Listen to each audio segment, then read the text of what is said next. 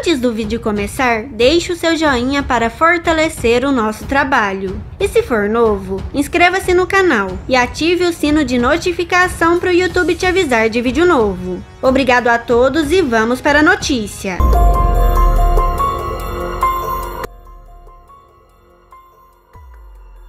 Olá pessoal, tudo bem? Sejam bem-vindos ao Giro de Notícias do canal Márcio Novaes. Ninguém esperava. Acaba de chegar um comunicado da apresentadora Palmeirinha de 89 anos. Morreu um grande nome. E chega notícia sobre Ronaldinho Gaúcho. Vamos para a primeira notícia que não é nada boa. Uma família chora após uma terrível notícia. Depois de mais de dois anos lutando contra um câncer, faleceu no Hospital Ananéria, em Santa Cruz do Sul, o prefeito Telmo Kirst, de 76 anos.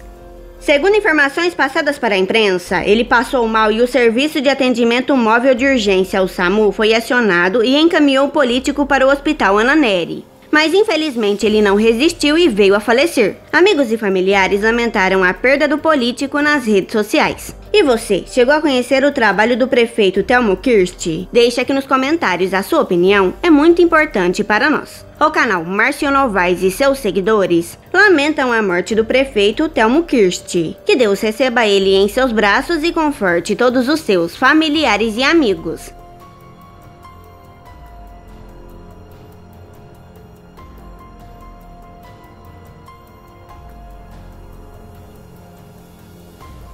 Agora vamos para a segunda notícia. Acaba de chegar uma triste notícia. O ex-jogador de futebol da seleção brasileira, Ronaldinho Gaúcho, fez um triste comunicado. Ele informou que a mãe Miguelina Eloy Assis dos Santos está internada no Centro de Terapia Intensiva CTI tratando a Covid-19.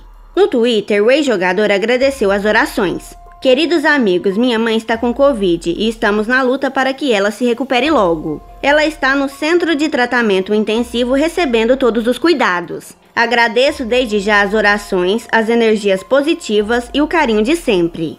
Força, mãe! Escreveu o ex-jogador Ronaldinho Gaúcho. O Hospital Mãe de Deus disse que não pode informar o estado de saúde dos pacientes.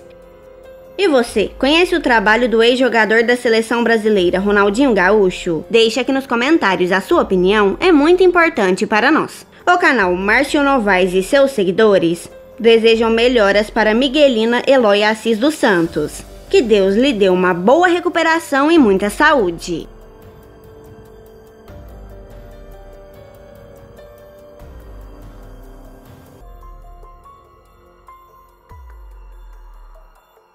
Agora vamos para a terceira notícia. Notícia urgente: o governador de São Paulo, João Dória, confirmou a notícia para a imprensa que na próxima quinta-feira, 24 de dezembro, a chegada de insumos para que o Instituto Butantan assegure mais de 5 milhões de doses da vacina contra o coronavírus. Além do carregamento da véspera de Natal, outros dois devem desembarcar no país na última semana do ano, totalizando mais de 10 milhões de doses em solo brasileiro. Ouça o que o governador João Dória falou. São Paulo recebe na véspera do Natal mais de 5 milhões de doses da vacina do Butantan, representando o maior lote já desembarcado no Brasil, afirmou o governador João Dória. Com isso, São Paulo terá até 31 de dezembro ainda este ano mais de 10 milhões de doses da vacina contra a Covid-19 em solo brasileiro, acrescentou João Dória. O plano estadual de imunização começa no dia 25 de janeiro. E você, conhece o trabalho do governador de São Paulo, João Dória? E o que você acha desta vacina produzida em São Paulo? Deixe aqui nos comentários a sua opinião, é muito importante para nós.